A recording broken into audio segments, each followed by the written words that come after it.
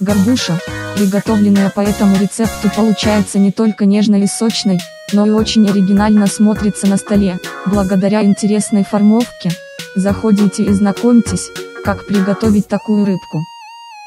Хочется отметить, что готовить таким образом можно не только горбушу, подойдет любое рыбное филе на коже, вкусно, сочно и очень просто, давайте готовить. В конце видео мы расскажем, какие продукты потребуются. 1. Филе промойте, обсушите. 2. Разрежьте вдоль, но не до конца, на три полоски. 3. Заплетите косичку, посолите, поперчите. 4. Выложите на рыбу сметану или полейте сливками. Ставим лайк и подписываемся. 5. Посыпьте рубленой зеленью.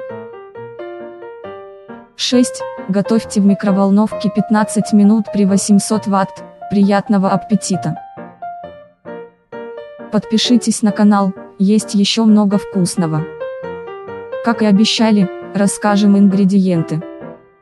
Филе горбуши, 500 грамм, 2 штуки, сметана или сливки, 100 грамм, соль, 2-3 щепоток, зелень укропа, петрушки, 50 грамм, сухие приправы, 2-3 щепоток, по вкусу, количество порций, 2.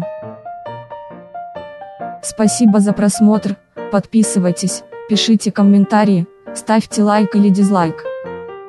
Удачного дня!